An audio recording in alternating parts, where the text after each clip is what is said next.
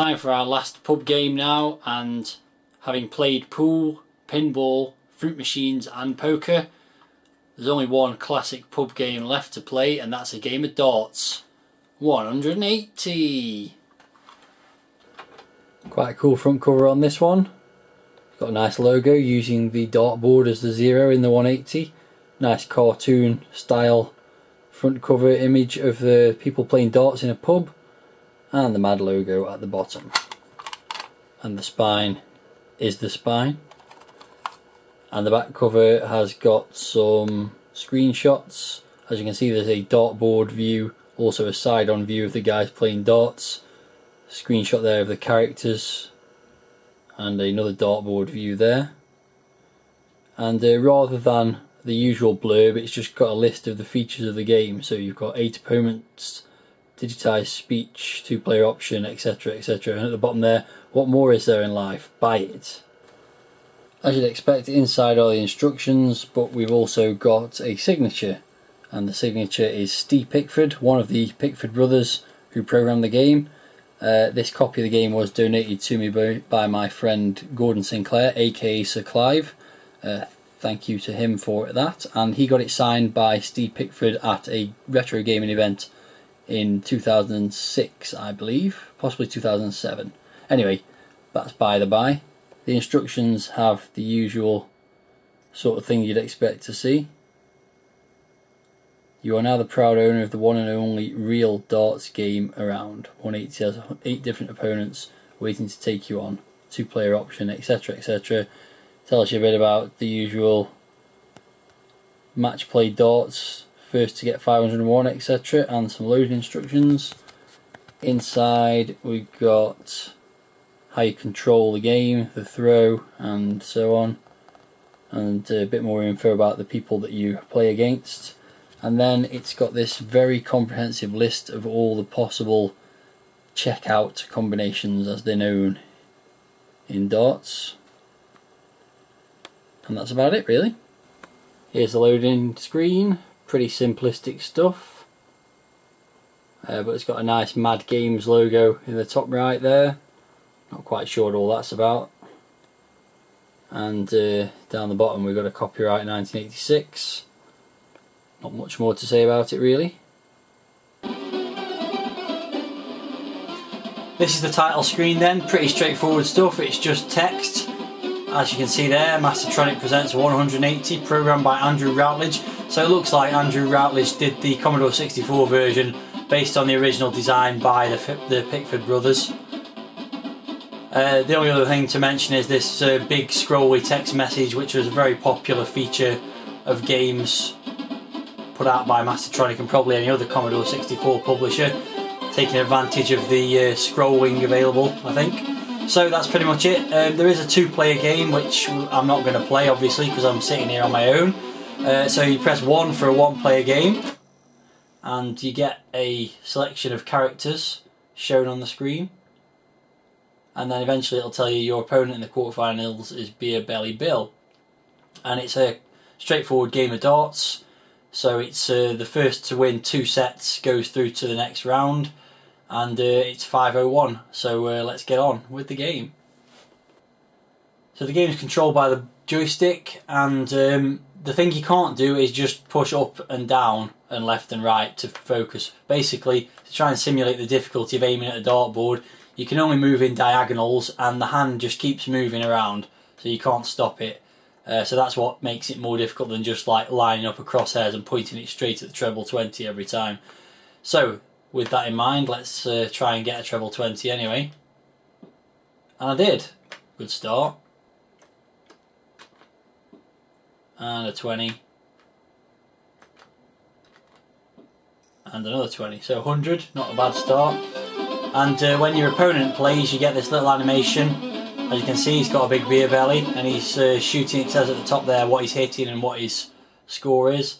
So he got um, 55, 45 in fact, which was garbage.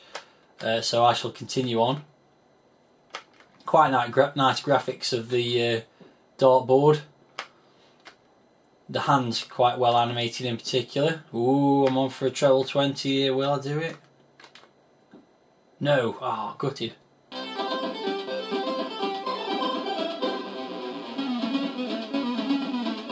So pretty nice graphics on this section as well. As you can see there's a bar in the background and a jukebox. Typical setting for a game of darts.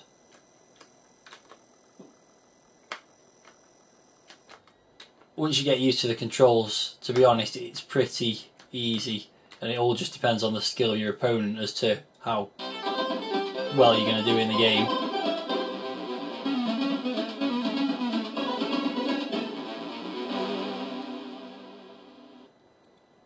So at the moment I'm well ahead and Beer Belly Bill is uh, just doing particularly badly it seems. So let's carry on. There's another 60. And another which gets me down to 41. There's no double that can get me a 41 so let's just go for the 20. Okay, so that leaves me with 21 points. So I should be able to polish this off fairly easily.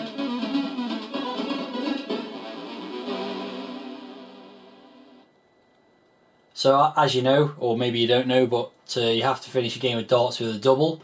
Uh, so I will go for a 1 first of all, which leaves me 20, which is double 10, which is down here. Mm. Got it. And when you win the set, you get this nice scrolly message saying great on it.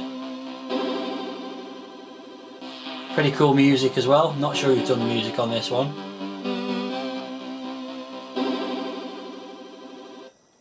and you go to round two. As you can see, I'm 1 0 up. So if I win this next set, then I will be through to the semi finals. So I'm still playing the second set, and as you can see, uh, Beer Belly Bill's got his act together, and he's only on, he's on 75, and I'm only on 241. So I've got a bit of catching up to do here, to say to, to say the least.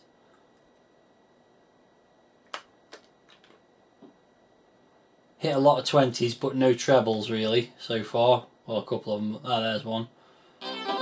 So I've still got a chance, but I think he'll probably win this set now.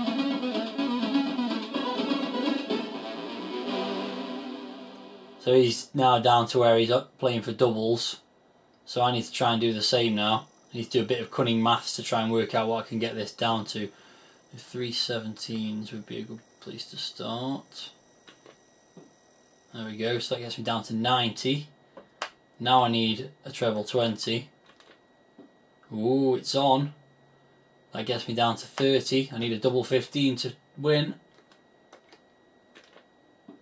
Oh, got it. Nice.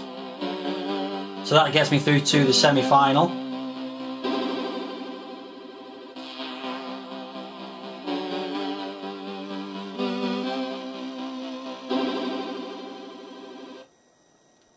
Once again the list of players comes up with their little caricatures and I'm playing Devious Dave in the semi-finals.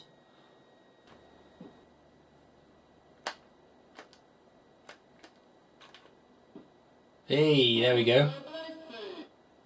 Hopefully you can hear that. A little bit of speech there, which I unfortunately spoke over, where it says 180. Uh, as you can see, Devious Dave looks a lot like Beer Belly Bill, but with a different head, basically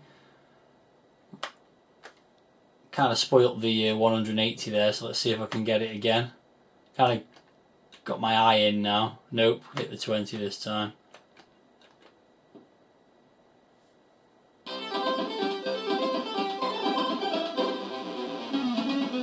So there's not much more to say about the game. It's quite good fun actually. Um, you know, the thing about sports games on computers and consoles is they're only really any fun if they if they allow you to be better at the sport than you would be in real life. And in this case, um, this does allow that. So, yeah, pr pretty good all all told. Um, I don't know what I'm checking out with here now. I've got 17. Quick bit of maths. That's 64. So let's just go with a double, a treble 20, and that should be a double 2 if I've got my maths right. Will it, or will it be? No, it won't.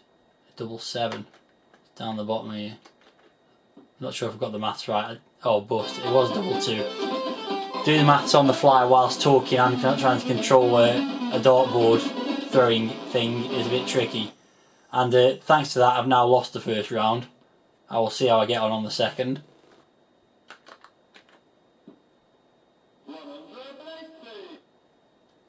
Another 180 got there and hopefully you heard that a bit better this time. So towards the end of the second set I've got 90 so I need a treble 20 and a double 15. Let's give it a go. Oh no, treble 3. Treble 1, sorry. Making 3 points which is a disaster. So I now need something like oh, I've got no idea. Let's just let's just hit something randomly and see where we go. Probably blowing this again now. So that is 21 off 90 is 69. Well, there's nothing I can get that gets me that, so let's just go for the treble 20. I've got nine points left, so it's all going to come down to how Dave does on this round here now. He's got a 60, he's got an 8. Oh, and he's hit the 20, so I'm in with a chance here. Okay, nice and simple. One, double four required. Oh, double two required. No! Blown it. And he's got it. And he won. He's won now. So I got a rating there of well mean at the end there. So and that's pretty much it. I'm not going to play through again. You get the idea. It's quite nicely presented. Uh, controls quite interesting. Um, overall, it's quite a good game. I'm not sure I'd pay 2.99 for it or would have done back in the day, uh, but it's definitely a decent dart simulation and a reasonable way to end our pub games series. No doubt that that is uh, the most popular of all the pub games, probably darts. Nice pub background on the graphics as well. So all in all, a pretty good uh, series. Couple of crap games, couple of decent games, and one that was pretty average.